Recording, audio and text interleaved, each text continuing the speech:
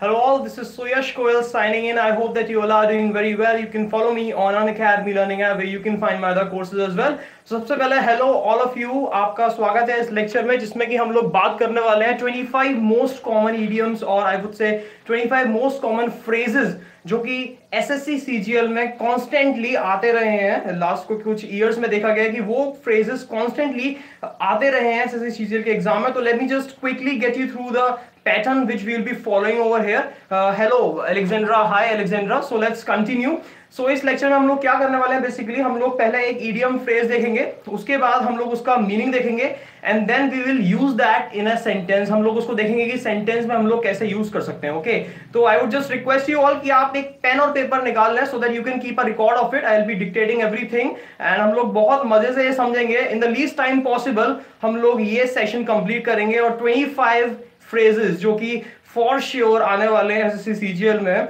वो हम देखने वाले हैं इस लेक्चर के अंदर okay so let's start without wasting any movement and start with the very first one okay सबसे पहला वाला जो है, वो है to face the music okay और अगर मैं आपको बताऊँ तो ये एसएससी सीजीएल के 2011 टीयर वन में आया है and to face the music okay अगर मैं आपसे पूछूँ what do mean by face the music तो क्या मतलब म्यूज़िक से रिलेटेड कुछ है कि म्यूज़िक में फेस करने वाला हूँ और something like that obviously not. When i'm saying to face the music, it actually means to accept criticism और punishment for something which you have done कुछ गलत कर दिया आपने। अब कुछ गलत कर दिया तो ऑब्वियसली आपको उसका कॉन्सिक्वेंस उसका पनिशमेंट फेस करना पड़ेगा। तो अगर आप वो कर रहे हैं, अगर वो कॉन्सिक्वेंस वो पनिशमेंट आप फेस कर रहे हैं that means you are what you are facing the music आपको मेरी बात समझ में आ रही है? अगर आप कोई पनिशमेंट एक्सेप्ट कर रहे हैं, किसी भी गलत चीज़ के लिए जो आपने करा है तो that means you are facing the music जैसे कि मेरे पास एग्जांपल है very quickly let's take it Piyush took his parents car without permission okay, and put a dent on it. He knew that they would find out, so he decided he would better face the music and tell the truth right away. तो basically मैं ये बोल रहा हूँ कि पीयूष जो था, वो अपने पापा की गाड़ी उनको बिना बताए ले गया और गलती से उस पर डेंट लग गया। तो ऑब्वियसली बात है, अब डांट तो बड़ी पड़ने वाली है तो इंस्टेंट की वो उनसे छुपा है, उसने क्या करा, उसने कहा, ठीक है, मैं पापा को बताऊँगा और जो भी मेरे को पनिशमेंट मिलेगा, मैं फेस करूँगा। तो इस तरीके से हम लोग ये यूज़ कर सकते हैं। एंड एक बात आप ध्यान रखिएगा कि जितने भी फ्रेजेस हम लोग इस लेक्चर में देखने वाले हैं योर असाइनमेंट इज़ कि आप उस हर फ्रेज का एक स्टेटमेंट एक सेंटेंस एक एग्ज़ाम्पल कमेंट बॉक्स के अंदर लिखने वाले okay so you need to do it for sure okay याद से करिएगा। So let's take the second one that is to bite the dust now here I am saying to bite the dust अब ये bite the dust bite और dust का कोई combination लगता नहीं है। डस्ट और बाइट है ना? तो ये कुछ अलग सी कहानी है देखते हैं क्या है? तो ये CGL S S C CGL two में आया हुआ है एंड इसका मतलब होता है to be defeated to be killed और टू एंड इन फेलियर आप कुछ भी कर रहे हैं, उसमें एंड में आपके सफलता हाथ नहीं लगी, आपके असफलता हाथ लगी ओके okay? या फिर कोई मर गया ओके समवन डाइड और या फिर मैं कहूँ कि बहुत बुरी तरीके से हार हो गई, ऐसे कि आप दोबारा आप कभी लड़ नहीं सकते। इस तरीके से आपकी हार हुई है। तो इन सारे केसेस के लिए जो फ्रेज मैं यूज़ कर सकता हूँ, वो होता है to bite the dust okay तो अगर मैं इसके एग्जांपल की बात करूँ तो एग्जांपल है I am not going to bite the dust so easily because throughout my life I have been a fighter now here I am saying कि मैं इतनी जल्दी हार मानने वाला नहीं हूँ। क्यों? बिकॉज़ अपनी पूरी ज़िंदगी में मैंने एक फाइटर की तरह जिया है तो मैं अभी इतनी जल्दी हार नहीं मानूँगा okay so keep writing we have complete to to to face the music and to bite the dust इसके एग्जांपल्स जल्दी क्विकली आप कमेंट बॉक्स में लिखिए okay next is gift of the gap. Now, this one is gift of the gap. Now, what is this gift of the gap? Now, this one is very interesting. बहुत सारे ऐसे speakers होते हैं जो बहुत अच्छा बोलते हैं ओके okay? तो वो सारे लोग जो बहुत अच्छा बोलते हैं, वो बेसिकली उनको एक एबिलिटी होती है अच्छा बोलने की। तो वो जो अच्छे बोलने की एबिलिटी होती है that is what we call gift of the gap okay gift of the gap जो एबिलिटी होती है अच्छा बोलने की that is gift of the gap अगर मैं इसके एग्जांपल की बात करूँ तो I am not much of a talker I was not blessed with the gift of the gap मैं इतना ज़्यादा बातचीत करने वाला इंसान नहीं हूँ। मेरे पास कोई भी ऐसी स्किल नहीं है जो कि मुझे गिफ्ट ऑफ़ द गैप देती हो ओके okay? मेरे पास वो स्किल नहीं है कि मैं बहुत अच्छा बोल सकता हूँ ओके okay? तो इस तरीके से हम लोग इसको यूज़ कर सकते हैं। And next is wet behind the ears now what is this wet behind the ear so ये जो है एसएससी सीजीएल 2012 में आया है। And all those who are just thinking about कि ये uh, इसका पीडीएफ मिल सकता है मैंने देखा अभी। तो डोंट वरी कि ये लेक्चर्स फिनिश uh, होने के बाद इन कमेंट बॉक्स के अंदर I write all these phrases जो कि मैं बता रहा हूँ। सारे फ्रेज मैं पेन डाउन करूँगा। बट अभी आपका एक असाइनमेंट है just do what just write in the comment box an example of the sentence which I am teaching you okay so the next one is wet behind the ears अब ये wait behind the years क्या होता है? It means young and inexperienced okay कोई भी इंसान किसी चीज़ में यंग है, कोई भी इंसान किसी चीज़ के लिए बहुत इनएक्सपीरियंस्ड है तो that is something what we call wet behind the ears okay जैसे कि एक एग्जांपल बोलूँ लेट्स से आपने कोई नया बिज़नेस स्टार्ट किया तो मैं बोल सकता हूँ कि you are new to this business इस बिज़नेस में आप नए हैं तो you are wet behind the ears यानी कि आप यंग भी हैं और आप इनएक्सपीरियंस्ड भी हैं ओके okay? तो इस तरीके से wet behind the ears young and inexperience हम लोग यूज़ कर सकते हैं ओके नेक्स्ट है we are heart on sleeves now this one is also very interesting we are heart on sleeves and ये भी कंटिन्यूअसली 2011 2012 2013 एसएससी सीजीएल में आया हुआ फ्रेज है। इसका मतलब होता है express emotions and feelings openly okay now here I am saying express emotions and feelings openly जब भी हम अपने इमोशंस को, अपनी फीलिंग्स को ओपनली बताते हैं ओके okay? जैसे मैं आपसे बात कर रहा हूँ और मेरे मन में जो भी फीलिंग्स है या मेरे मन में को जो भी इमोशंस है, उसको मैं ओपनली आपको बता रहा हूँ तो that is basically what that is basically I am wearing my heart on my sleeves okay जैसे कि मान लीजिए आप किसी से नफरत करते हैं, आपने डायरेक्ट बोल दिया। आप किसी से प्यार करते हैं, आपने डायरेक्ट बोल दिया। So this is something that you are wearing your heart on your sleeves okay like for example Riyansh has has never made a secret of his love for Kritika. He has always worn his heart on his sleeves. Riyansh ने कभी भी इसको secret नहीं लगा कि वो कृतिका से प्यार करता है उसने हमेशा ये बात ओपनली बोली है उसने ये फीलिंग हमेशा ओपनली बोली है तो दिस इज़ समथिंग जिसमें मैं यूज़ कर सकता हूँ wear heart on one's sleeve okay now the next is beauty the hatchet now what is this beauty the hatchet ये भी 2012 में आया हुआ है एंड इसका मतलब होता है to end a dispute to make peace जब भी कोई लड़ाई को आप खत्म कर रहे हैं बेसिकली कोई लड़ाई चल रही है, आप उसको खत्म कर रहे हैं that is beauty the hatchet आप कह रहे हैं कि यार शांति बरकरार रखो, शांति कायम रहे और आप शांति को स्थापित कर रहे हैं। बहुत अच्छा हिंदी का वर्ड शांति को स्थापित कर रहे हैं तो basically you are burying the hatchet okay जैसे कि for example this argument has gone too long ये आर्ग्यूमेंट अब बहुत लंबी खिंच चुकी है। Let's do what let's beauty the hatchet अब क्यों ना हम इस बात को यहीं पे दफना दें और शांति कायम रहे, शांति को स्थापित करें ओके नेक्स्ट है once in a blue moon now what is this once in a blue moon once in a blue moon का मतलब होता है very rarely and I am very sure कि ये आप लोगों ने, बहुत सारे लोगों ने ये सुन रखा होगा। Once in a blue moon that is बहुत ही कम। कोई काम जो आप बहुत ही कम करते हैं ओके okay? बहुत ही कम करते हैं। एग्जैक्टली exactly मुझे मिल भी गया रेयरली वेरी रेयरली या you are there you are just right so इसका मतलब होता है बहुत कम। जैसे कि for example we go out for dinner once in a blue moon हम लोग डिनर पे जाते हैं once in a blue moon basically हम लोग डिनर पे बहुत ही कम जाते हैं. That is what I am just trying to say okay now next is scapegoat now what is this scapegoat scapegoat ये बहुत ही इंटरेस्टिंग वन है, मैं आपको बता दूँ. एंड ये वाले का आप मुझे एक नहीं, दो एग्जांपल लिख के दीजिएगा कमेंट्स में. बेसिकली इसका हिंदी मीनिंग में बोलूँ तो scapegoat is nothing but बली का बकरा. जो बली का बकरा बेसिकली होता है, उसको हम बोलते हैं स्कैप ओके तो अल्टीमेटली इसका मतलब ये होता है कि कोई भी एक ऐसा बंदा सारा ब्लेम जिस जिसके ऊपर ही आना है कोई भी बंदा गलती करे कुछ भी और कोई गलती कर रहा है बट अल्टीमेटली ब्लेम जो आना है वो बेचारे उस बंदे के ऊपर ही आना है तो that is something what we call scape तो मुझे पक्का यकीन है कि आप लोगों की लाइफ में भी एक ना एक या दो या तीन या बहुत सारे स्कैप होंगे तो you just write the name of all those scapegoats here okay so the example here is who is the scapegoat in your class and you need to answer this question कि आपकी क्लास में scapegoat कौन है okay now the next one is a fish out of water okay अब fish out of water ये जो है थोड़ा सेल्फ एक्सप्लेनेटरी है ओके okay? बहुत ही आसान है आ, समझ में आ जाएगा फ़िश आउट ऑफ़ वाटर और ये भी S S C C G L two thousand thirteen tier one में आया हुआ क्वेश्चन है and it means in uncomfortable situation obviously बात है जब आप एक फ़िश को अगर पानी से बाहर निकाल देंगे तो बहुत अनकंफर्टेबल होने वाली है ओके तो this is basically a fish out of water ये आप किसी के लिए भी यूज़ कर सकते हैं जब आप उसको एक अनकंफर्टेबल सिचुएशन में ला रहे हैं या कोई बंदा अनकंफर्टेबल सिचुएशन में आ रहा है that means I can use the phrase fish out of water. Okay, जैसे कि for example, I felt like a fish out of water in my new school. मैं नए स्कूल में गया सब कुछ नया था सारे दोस्त नए थे तो ऑब्वियसली मुझे ऐसा लगा जैसे कि मुझे एक बहुत ही अनकंफर्टेबल सिचुएशन में लाके किसी ने खड़ा कर दिया ओके सो नेक्स्ट हमारे पास जो है वो है call spade a spade now this is very interesting and इसको यूज़ करके मैं बता रहा हूँ ये डेंजरस है ये इंटरेस्टिंग के साथ साथ डेंजरस बहुत ज़्यादा है और ये भी बहुत बार रिपीटिवली आया है रिपीटेटिवली आया है 2013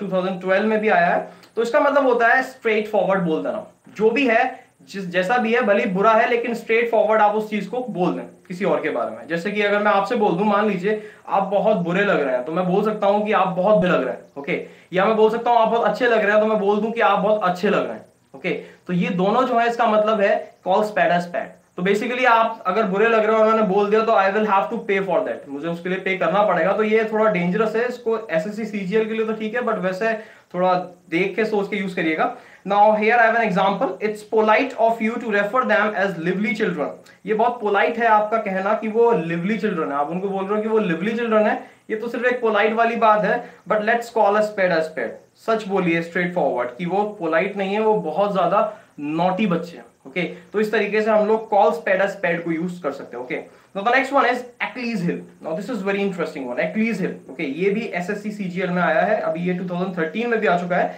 इसका मतलब होता है पर्सन वीकनेस किसी भी इंसान की वीकनेस की अगर आप बात कर रहे हैं तो वो जो वीकनेस है, उसको हम कंसिडर करेंगे Achilles heel heel okay like for example we need to find his Achilles heel if we want to defeat him हमें उसकी एक्लीज हिल फाइंड करनी पड़ेगी अगर हमें उसको हराना है। हमें उसकी वीकनेस पता करनी पड़ेगी अगर हमें उसको हराना है। बेसिकली आयुषी सिन्हा ने बोला है weakness you are very right Ayushi so let's continue the next one which I am having here is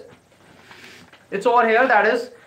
dot the i's and cross the t's. Now, here i am saying dot the i's and cross the t's. Now, what does it mean? It means to be very careful and attentive to details. जब आप details को लेकर बहुत ज़्यादा careful हैं बहुत ज़्यादा attentive है आप डिटेल्स को लेकर that time we use what dot the i's and cross the t's like for example we have to make this written proposal the best one they receive we have to dot the i's and cross the t's now here I am saying कि एक proposal हम लोग बना रहे हैं written और हम चाहते हैं कि ये जो प्रपोजल हो, वो बेस्ट होना चाहिए. उनको जितने भी, जिसको हम भी भेजने वाले हैं तो उनको जितने भी प्रपोजल मिलेंगे, उन सब में ये वाला प्रपोजल एक बेस्ट प्रपोजल होना चाहिए. ये मुझे इंश्योर करना है. तो बेसिकली मैं इसके लिए साफ़ बोल सकता हूँ that we need to what we need to dot the i's and cross the t's okay now the next one is wild goose chase now what is this wild goose chase it means a useless or difficult search कोई भी एक useless search कोई भी एक बहुत difficult search जिसको लिए आप लगे हुए हैं that is something what we call wild goose chase जैसे कि for example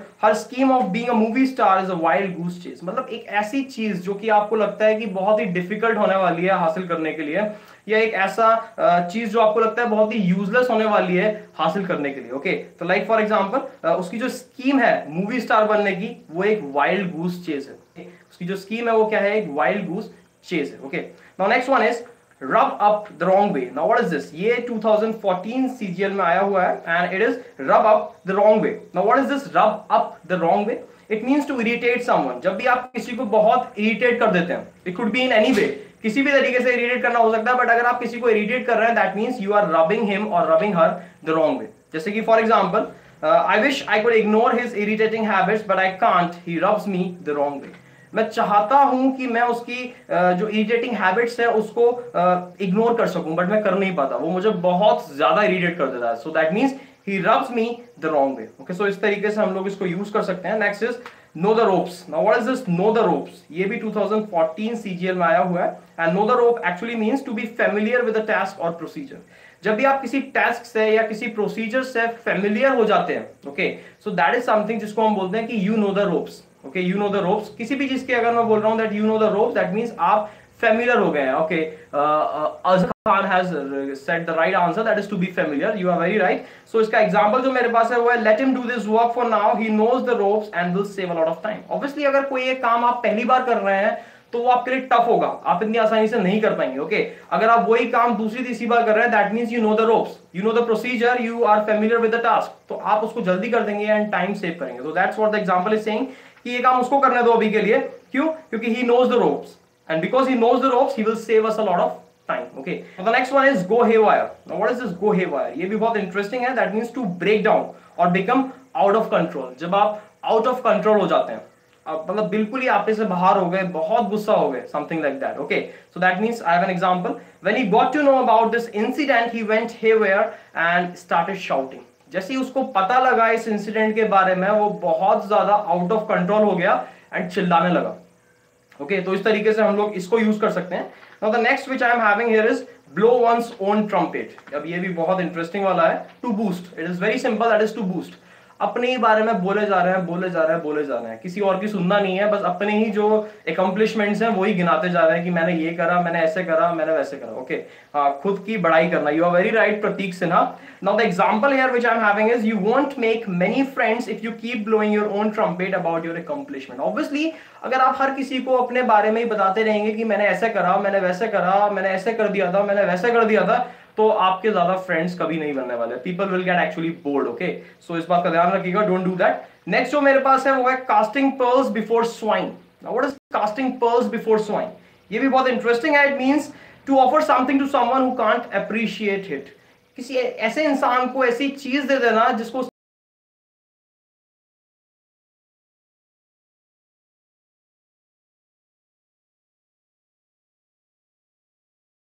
cast pearls before swine okay जैसे कि एग्जांपल मेरे पास है taking your young children to Europe would be like casting pearls before swine they are too young to appreciate it अगर आप अपने बच्चों को इतनी छोटी उम्र में यूरोप लेके जा रहे हैं तो that means you are what you are casting pearls before swine क्योंकि वो बहुत छोटे हैं ये समझने के लिए कि यूरोप की वैल्यू क्या है तो यहाँ पे एक मेरे पास offering yeah you are very right जिसने भी ये कमेंट करा है ऑफरिंग वाला वो एक्चुअली uh, हाइड हो गया या offering unappreciable yeah you are very right uh, abhijit okay so the next one which i'm having is let sleeping dogs lie this is very interesting and ये थोड़ा सा tricky भी है it means to not look for trouble or stir stir up a troublesome situation आपको कुछ ऐसा पता है let's say कोई issue चल रहा है लड़ाई चल रही है वो समाप्त हो गई खत्म हो चुकी है विराम लग चुका है लड़ाई पे स्टिल आपके पास एक ऐसा पॉइंट है कि अगर आपने वो बोला तो लड़ाई फिर से उठ जाएगी फिर से लड़ाई होना शुरू हो जाएगा तो बेसिकली आप ऐसा नहीं करना चाह रहे हैं। आप कोई भी लड़ाई दोबारा नहीं करना चाह रहे हैं या आप लड़ाई में आ, मिर्च का काम या नमक का काम नहीं करना चाह रहे हैं तो उसको हम बोलते हैं लेट स्लीपिंग डॉग्स लाए तो जब भी आप ऐसा नहीं करने वाले हैं that means you are letting sleeping dogs lie okay, जैसे कि एग्जांपल है, the situation seems to have resolved itself and I am not going to bring it up again. Situation मुझे लग रहा है कंट्रोल में है और अब मैं इसको वापस से छेड़ने वाला नहीं हूँ। मैं चिंगारी नहीं देने वाला इस सिचुएशन में वापस से। I am not going to let sleeping dogs lie मैं अब ये काम नहीं करने वाला, मैं वापस से कुछ ऐसा नहीं बोलने वाला जिससे वापस से लड़ाई होने के चांसेस बढ़ जाए ओके नेक्स्ट जो है, वो है wet one's whistle what is this wet one's whistle it means to wet one's lips अपने होठों को मतलब नमी देना मतलब कुछ पानी, जैसे कि मैं अभी कंटिन्यूसली बोल रहा हूँ तो actually I need to wet my lips okay so इस तरीके से कोई भी ड्रिंक लेना, कुछ भी पीना it could be water it could be a cold drink it could be soft it could be anything else कुछ भी पीना और अपने गले को और अपने लिप्स को थोड़ा सा मतलब मॉइस्चर देना ओके? सो जैसे कि एग्जांपल है the singer needed to wet his whistle before he could continue singing singer जो था, उसको अपने मुँह को, अपनी ज़ुबान को गीला करना था मॉइस्चर देना था, जिससे कि वो वापस से कंटिन्यू कर सके गाना। ओके तो गला एक्चुअली सूख जाता है तो उस केस में हम लोग वेट वंस विसल बहुत यूज़ करते हैं। Okay now next which I am having with me is so here it is yeah next one is make a mountain of molehill now what is this make a mountain of molehill It is again, has been asked in 2015 SSC CGL and it means to exaggerate the importance of something. कोई एक बात है जो बहुत छोटी है, उसकी value इतनी नहीं है, उसकी इंपॉर्टेंस इतनी नहीं है but still you are exaggerating it so much बहुत ज़्यादा बढ़ा चढ़ा के आप उसको बोल रहे हैं. So that means you are making a mountain of molehill मेरे पास बहुत सारे आंसर आए हैं इसके. मेक इशू एंड राई का पहाड़ बनाना. एग्जैक्टली यू आर राइट राई का पहाड़ बनाना. It is the exact transformation translation of English idiom to Hindi one make a mountain of molehill राई का पहाड़ बनाना okay? So, example जो मेरे पास है वो है, he did it by mistake, just try to understand this and don't make a mountain of molehill okay? Obviously, उसने एक गलती से कर दिया। गलती हो जाती है, उससे भी हो गई। तो राई का पहाड़ बनाने की कोई ज़रूरत नहीं है जस्ट इस बात को समझो एंड शांत हो जाओ okay now next which I am having is spill the beans अब ये 2015 एसएससी सीजीएल में आया हुआ है। Spill the beans it means to reveal a secret एक सीक्रेट था, बहुत इंपॉर्टेंट जो रिवील नहीं करना था but just somehow you know किसी तरीके से आपने रिवील कर दिया. You just did it so that means yeah again Azhar Khan Pratik Sinha yeah you all are right very good so example भी है मेरे पास. The boss got angry to know that we all knew he plan to quit he wanted to know who had spilled the beans now here I am saying कि boss बहुत गुस्सा हो गए जब उनको पता लगा कि हम लोग को पहले से ही पता है कि वो क्विट करने वाले हैं, वो जॉब छोड़ने वाले हैं. अब वो ये जानना चाहते थे कि who has who had spilled the beans किसने ये सीक्रेट रिवील करा? तो इस तरीके से हम लोग इस फ्रेज को यूज़ कर सकते हैं okay now next is at loggerheads now what is this at loggerhead it means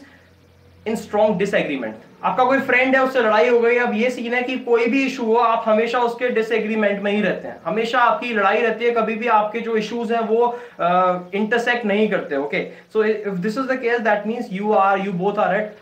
loggerheads जैसे कि एग्जांपल भी है they have been arguing all day वो पूरे दिन आर्ग्यू कर रहे हैं पूरे दिन से आर्ग्यू कर रहे हैं uh, कि क्या करना है वो मैं इसके बारे में। एंड वो वाकई में बहुत ज़्यादा डिसएग्रीमेंट में they are at loggerheads okay so इस तरीके से मैं इसको यूज़ कर सकता हूँ next one is at one's wits ends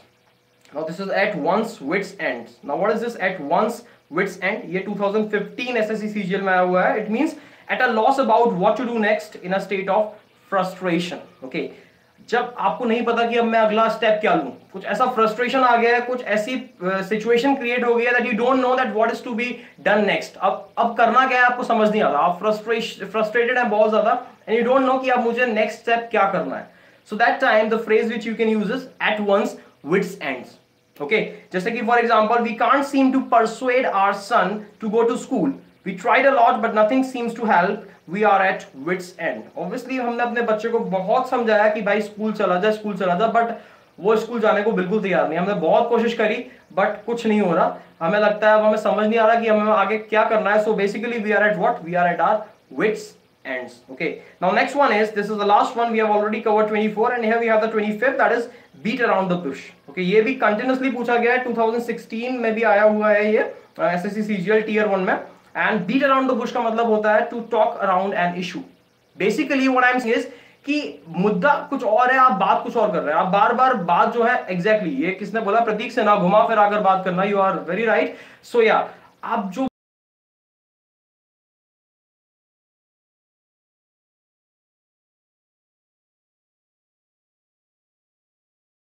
जैसे कि एग्ज़ाम्पल जो मेरे पास है वो है if you disagree with my opinion just tell don't beat around the bush अगर आप बस एग्री करते हैं मेरे ओपिनियन से, जो मैंने बोला उससे अगर आप डिसएग्री करते हैं तो आप सिंपली बात को बोलो टू द पॉइंट आओ कि आप डिसएग्री करते हैं, बात को घुमाओ मत, आप क्यों बात को घुमा रहे हो? Just come to the point okay so इस तरीके से हम लोग और भी बहुत सारे फ्रेजेस यूज़ कर सकते हैं and you know if you just want to learn all those phrases which are there in SSC CGL और which could be there in SSC CGL so come on you can just click the link of my profile which is there in the description description में एक link है, जिस पे आप click कर सकते हैं। And on that profile you can find 600 plus idioms and phrases जो कि हम लोग डिस्कस कर चुके हैं। 600 प्लस इडियम्स एंड फ्रेजेस जो कि आ सकते हैं एसएससी सीजीएल में। और उसमें बहुत सारे ऑलमोस्ट सारे ही वो कवर्ड हैं जो कि एसएससी सीजीएल लास्ट ईयर्स के पेपर में आ चुके हैं okay so come on do it and ये सारे idioms एंड फ्रेजेस जो जितने भी फ्रेजेस मैंने बताया I will be writing all those phrases in the comment section so don't worry about that and all the best for your SSC CGL write your comments कि अगर कोई और help आपको चाहिए हो इससे रिलेटेड इस एसएससी सीजीएल के कोर्स से रिलेटेड इंग्लिश के किसी टॉपिक से related so I always be there and don't forget to just go on my profile okay so that's all for this lecture. Thank you very much. This is suyash koyal signing off. Thank you.